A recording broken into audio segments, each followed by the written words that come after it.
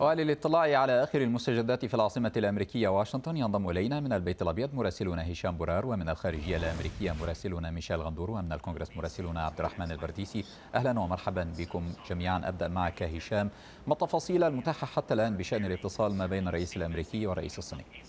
بيان مقتضب أصدره البيت الأبيض بعد مكالمة استغرقت ساعتين وسبعة عشر دقيقة بين الرئيس الأمريكي جو بايدن ونظيره الصيني جي جين بينغ. في البيان يقول البيت الأبيض بأنه يأتي جزءا من جهود هذه الإدارة للحفاظ وتعميق قنوات الاتصال بين واشنطن وبكين وإدارة المنافسة بين البلدين. الرئيسين آه، اتفقا يقول البيت الأبيض على تكليف فريقيهما بمزيد من المشاورات والمناقشات بشأن قضايا مشتركة كمكافحة التغييرات المناخية والأمن الصحي فيما يتعلق بتايوان التي كانت حاضرة بقوة على ضوء زيارة محتملة لرئيسة مجلس النواب نانسي بلوسي لهذا البلد. يقول البيت الأبيض بأن الرئيس الأمريكي جدد لشي بأن السياسة الأمريكية سياسة الصين الواحدة لم تتغير لكن الولايات المتحدة تعارض أي خطوات أحادية الجانب لتغيير الوضع القائم أو زعزعة أمن أو استقرار مضيق تايوان. طبعا الرئيس الأمريكي آه، يريد من آه، الرئيس الصيني أن أن يجد معه آه، بعض مواطن الأرضية المشتركة. طبعا مواطن مشتركة واهتمامات مشتركة للتعامل مع أزمات مشتركة لا سيما أزمة الاضطرابات في سلاسل الإمدادات وارتفاع الأسعار في منتجات آه، صينية الصنع بالتحديد. البيت الأبيض يقول بأن مسألة رفع الرسوم الجمركية التي فرضتها الإدارة السابقة على حوالي 350 مليار من المنتجات الصينية لم تطرح خلال هذه المناقشات لكن نحن في انتظار آه، إفصاحات صحفية بعد قليل مع منسق البيت الأبيض للاتصالات الاستراتيجية جون كيربي الذي سيطلعنا أكثر على تفاصيل ما جرى خلال هذه المكالمة الهاتفية الخامسة من نوعها بين الرئيس بايدن ونظيره الصيني معنا هشام نذهب إلى ميشيل ونحن نتحدث الآن ورد هذا الخبر العاجل من الخارجية الأمريكية عن أنه لم يتم تحديد موعد آه، معين للاتصال ما بين وزير الخارجية الأمريكي ونظيره الروسي لكن ماذا عن المحاور المرتقبة لهذا الاتصال ميشيل؟ نعم أحمد كما ذكرت المتحدث باسم الخارجية الأمريكية أكد قبل قليل أنه لم يتم تحديد أي موعد للاتصال بين وزير الخارجية أنتوني بلينكن ونظيره الروسي سيرجي لافروف. هذا الاتصال في حال جرى سيكون الأول من نوعه منذ منتصف فبراير الماضي وقبل موعد بدء الغزو الروسي لأوكرانيا. الوزير بلينكن كان قد تحدث أمس عن عرض قدمته الولايات المتحدة إلى روسيا لإطلاق سراح رهينتين أو معتقلين أمريكيين في السجون الروسية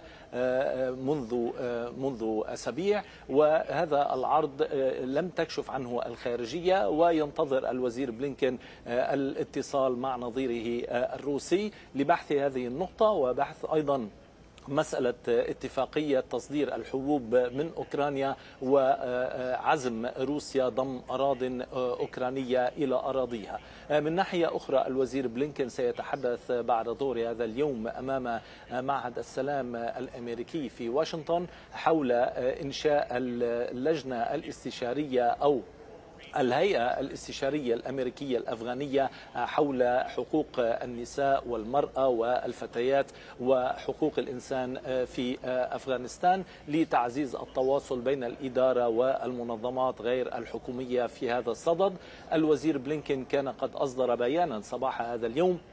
يتعلق بالاستفتاء على الدستور الذي حصل في تونس آه، أعرب عن مشاطرة الولايات المتحدة المخاوف التي عبر عنها بعض آه، التونسيين من أن يكون هذا الدستور الجديد يقوض الحريات والديمقراطية وحقوق الإنسان ودعا إلى آه، الإسراع في قيام وإقرار قانون للانتخابات يؤدي إلى انتخابات شفافة وشاملة وتضم الذين قاطعوا وعارضوا هذا الاستفتاء وأكد أن الولايات المتحدة تقف إلى جانب الشعب التونسي في تشكيل حكومة تحافظ على الديمقراطية والحريات العامة وحقوق الإنسان واستقلالية القضاء. معنا ميشيل نذهب إلى عبد الرحمن ما الجديد في الكونغرس اليوم عبد الرحمن؟ نعم أحمد بعد أن فجر جو مانشن الزعيم الديمقراطي مفاجأة بأنه يريد أن يكون هناك استكمال لقانون إعادة الإنفاق الاجتماعي مع تشاك شومر زعيم الأغلبية. اجتمع الديمقراطيون اليوم في مجلس الشيوخ للاتفاق على صيغة نهائية حتى يكون هناك قانون فرعي وسيسمونه ربما قانون خفض التضخم لعام 2022 حيث يستهدف الديمقراطيون إنفاق مبلغ حوالي 700 مليار دولار في قطاعي التغير المناخي والضرائب حتى يستهدفوا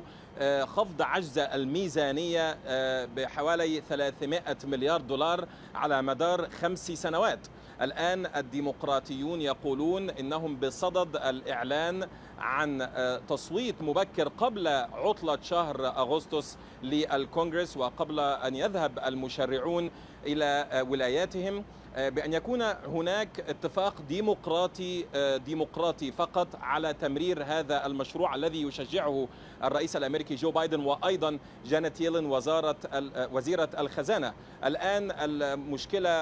الوحيدة الموجودة أمام أو العقبة الكبرى أمام الديمقراطيين هي موافقة كيرستن سينيما